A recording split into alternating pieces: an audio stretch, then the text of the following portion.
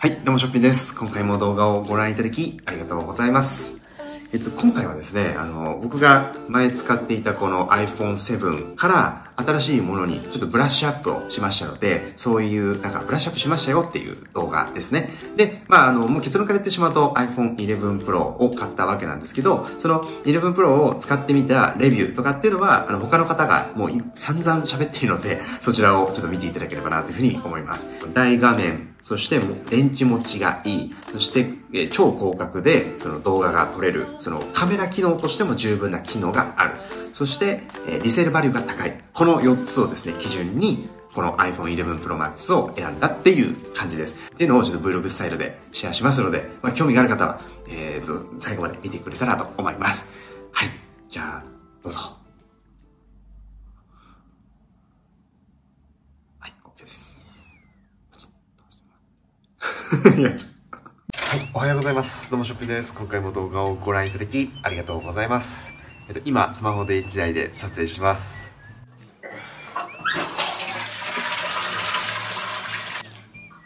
はい、じゃあまずはお着替えをします。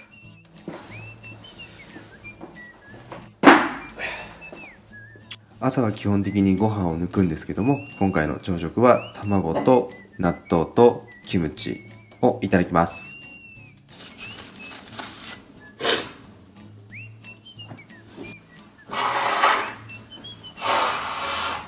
今の時期から花粉症が鼻水がくしゃみが止まらないんですけど今のこの時期からも花粉症の人いますか？はい。こんな見せ物でもないと言いつつもエンザイムたっぷりいただきます。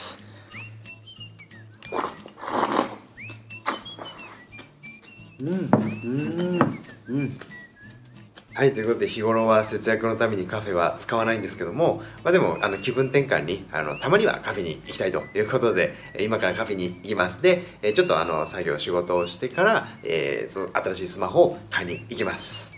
あそれにしてもさっき納豆とキムチと卵食べたんですけどその10分後ぐらいからピタッと鼻水が止まりました。そうあの花粉でくしゃみと鼻水が止まらなかったんですけどピタッと止まりましたなので今あのかこの動画見てくる人で花粉症の方いると思うんですけどぜひ納豆キムチ食べてみてくださいあ めちゃくちゃ安直な提案ですけどちなみに今10時45分なんですけども今僕の iPhone の電池は33%です。はい、あの結構僕と同じように 6S だったり7系使ってる方、電池持ち大丈夫ですか？はい、じゃあ行ってきます。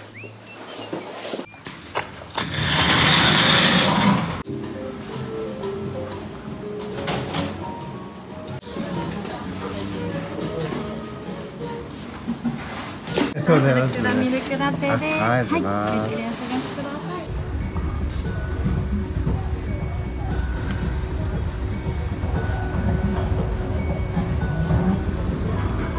はい、終わりましたので、じゃあ今から電車に移動して秋葉原に行きます。なんか日本語おかしかった。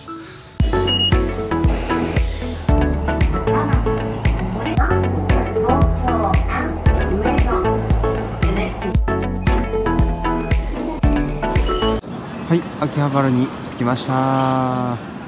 美味しそう。ウィンナーコーヒー。いいですね。ちょっとはい。いやいやいや、そういう無駄な使い方はしちゃダメっていうね。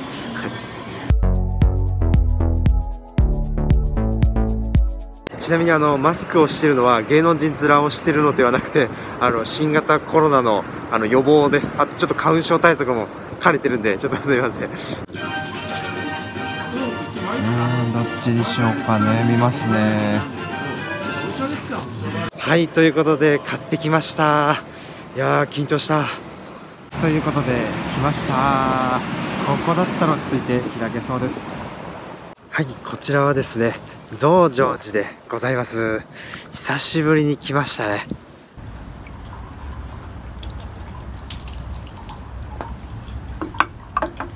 あー確定申告とかちょっと一段落してきたのでいやーやっと来れました。嬉しいです。じゃあ今から開けましょう。もういろいろ悩みました。悩みまくって他の方の動画 Android も iOS も含めて100本以上の動画は軽く見て あのめっちゃ勉強比較しました。前回そのライブ配信で皆さんの Android 派か iOS かみたいな意見も聞いてですね最終的に僕が大事にしたいところっていうのが、えー画面の大きさ、まあ、仕事のその生産性の高さあとはリセールバリューの高さあとは電池持ちの良さ、えーそして超広角で動画撮影ができる。この4つをですねあのめちゃくちゃ大事にしてじゃあこれを満たしてくれるものっていうことで、えー買ってみました。はいそれがですねこちらです。はい iPhone11 です。はいこちらです。はいもう設定はしたんですけどもカラーはなんとかグリーンライムグリーンでしたっけ？はいこちらにしました。で画面のでかさを重視したかったのでこちらは MAX でございます。それでは早速カメラを切り替えていきます。せーの。はいということで切り替えました。はいこんな感じです。わあすごい綺麗。ちなみに僕が使っていた iPhone7 は残り1%までなってしまいました。ギリギリのところを持ってくれてありがとうございます。はいということで切り替えることができました。いやー画面が明らかに綺麗ですね。すんごい綺麗ですね。本当わーすごい感動です。ちょっと先ほどまでの映像はだいぶ見にくかったと思うんですけどもあのこれからはちゃんといいおいい絵でお届けできるかなというふうに思いますけども皆さんいかがでしょうか？いや久しぶりに遺言業を受けてきます。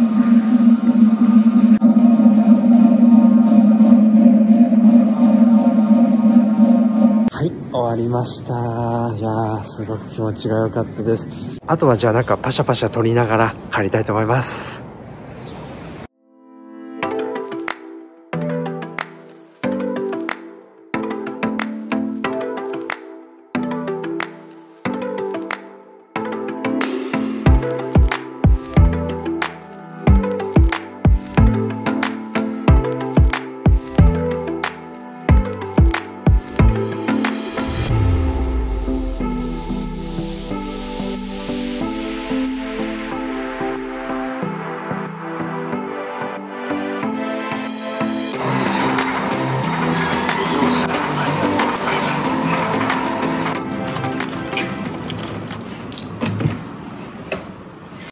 はい、ただいま帰ってきました。あー、楽しかった。いやー、でも本当に人どこ行っちゃったのっていうぐらい人が少なかったです。平日の午後2時ぐらいの感じで、いや、電車の中も全然少なかったので、そうやっぱりコロナウイルスの影響で皆さんちょっとお出かけ控えてるんですかね。はい、あの、この動画を見てくれてる人はどうでしょう、出かけてるんでしょうか。とりあえず片付けをしましょう。えっ、と、明日のスムージーをする用のバナナ買ってきました。この iPhone は十分ここで頑張ってくれました。なので感謝の気持ちを込めて捨てるあじゃなくてメルカリで出品したいと思います。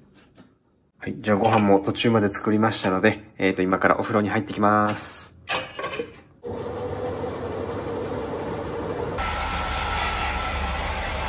よし、じゃあもうちょっと時間がありそうなので、えーコミュニティの人たちに連絡を返します。うん、やっぱり画面がでかいのですごく文字が見やすいです。あのちっちゃい画面でこうやって見ると僕あのちっちゃい文字が見えないのでなんかちっちゃい画面だとこううーんってこうなんかおじいちゃんみたいな感じでうんってこうなるんですけどもそうこれはすごくでかくのでそう文字がでかいのですごく見やすいです。本当にこれはいいですね。やりやすいです。うん。いただきます。うんうん。はい、ということでご飯も食べて歯も磨きましたので、今から寝ます。で、明日また続きを撮りますので、今日はじゃあ失礼します。明日はまたこの iPhone で撮影しますんで、はい、おやすみなさい。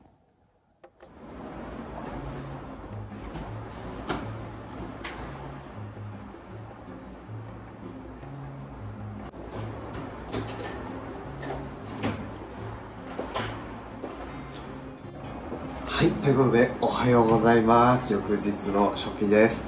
やっぱりこう、すごい手軽ですね。めちゃくちゃなんかいろいろパッパッパ取りやすいです。はい、今日の材料は、ほうれん草、りんご、キウイ、バナナです。これでグリーンスムージーを作りたいと思います。うん、いいですね。それではいきます。オンうん、すごいいい感じです。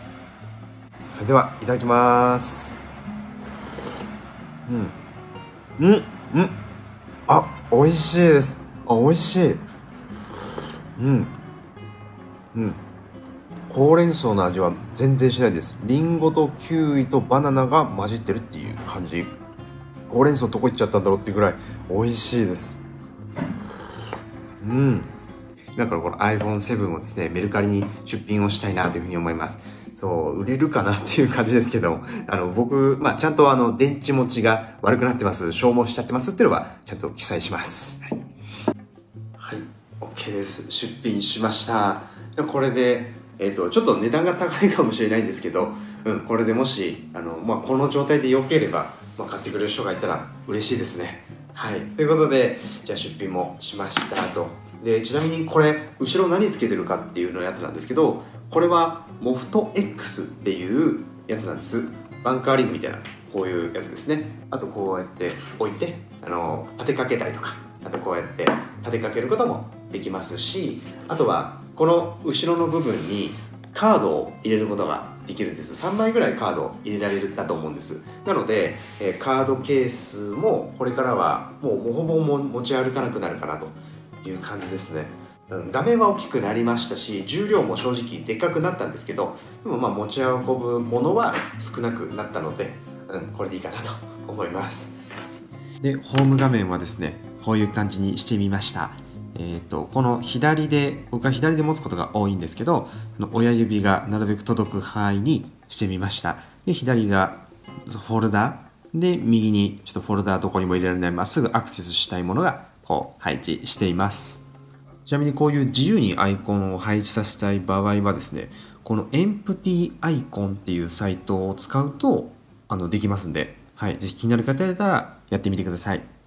はい、ということで皆さんからたくさん意見をいただきまして本当にありがとうございました。で、えー、最終的にこれにしたわけなんですけども、やっぱその撮影がすごく身軽になったっていうのが一番ありがたいです。嬉しいです。そして電池持ちも気にしなくて良くなりましたし、なんか作業したいってなった時に大きい画面なので、すごくあの生産性も高く作業できてます。はい、なので2年間これでですね、あの、とりあえず2年間やっていこうと思います。あの、ソニーのエクスペリア Mark II っていうあの、スマホカメラめちゃくちゃいいの出ましたけども、そう、まあ、それと比べてどうかなっていうところもありますし、パソコンとの連携具合とかっていうのも、やっぱりこの iPhone 11 Pro はかなり、あの、操作性は高いんじゃないかなというふうに思います。まあ、なので、うん、まあ、とりあえず買ってよかったと自分に言い聞かせるっていう感じですね。えっと、他の方の動画で7から11に変えて良かったこと悪かったことみたいなその動画もシェアしていてですね、僕もですね、またこの7から11 Pro に変えて、まあ、感じたこととかっていうのはまた別の動画でシェアさせてもらいますので、それも楽しみにしてもらえればなというふうに思います。